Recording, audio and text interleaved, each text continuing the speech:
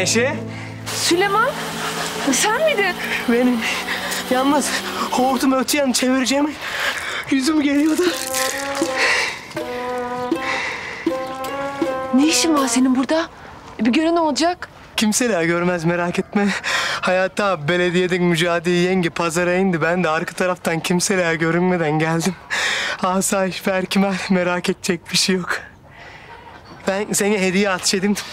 Alcı, aldım da hediye verecektin. Şimdi ver veren şeyin o hediye. Beni hediye mi aldın?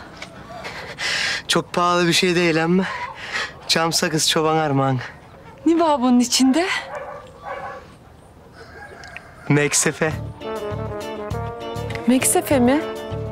He, Meksife. Hani sizin su motoru bozuldu da ben tamiri geldiydim ya.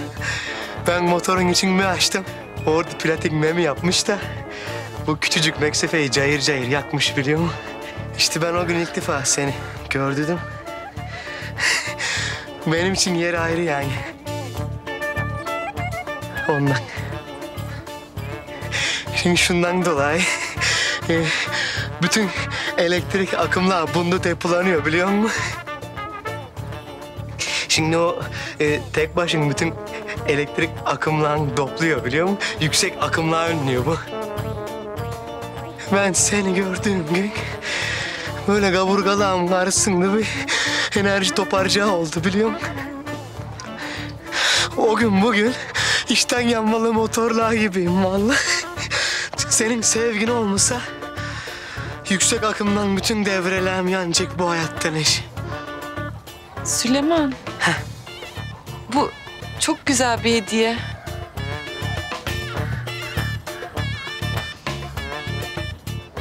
Sen... Sen beğendin mi? Sen şimdi bunu beğendin mi? Çok beğendim Süleyman. Bir daha bu meksefeyi hiç canımdan ayırmayacağım. Oh Allah! Vallahi ben çok korktum biliyor musun kendi kendime. Hani genelde kızlar çiçek mişek alıyorlarmış ya. Dedim vallahi Neşe bunu bir şeye benzetemez kafam faydarı veriyor dedim. Oh içim rahatladı vallahi. Neyse.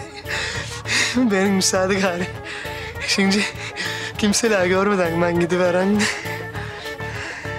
Senin de işlerin vardır. Senin kolay gelsin. İşlem var benim de.